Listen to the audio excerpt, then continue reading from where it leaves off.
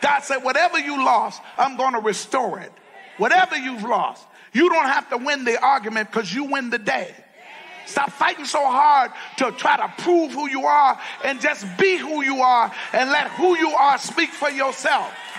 Be the righteousness of God. Be the holy one of God. Be the child of God that you are. Speak to those things that be not as though they were and claim the power of God over your life. Stop negotiating with the devil and stop negotiating with your surroundings and walk in and let God do the rest.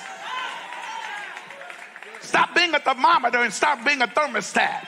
You know the difference, don't you? A thermometer can only read the temperature in the room.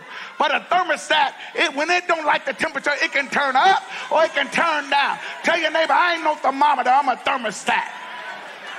I know how to heat things up. I know how to make things different. I know how to change the atmosphere. I know how to let people know who I am. God says, I'm going to restore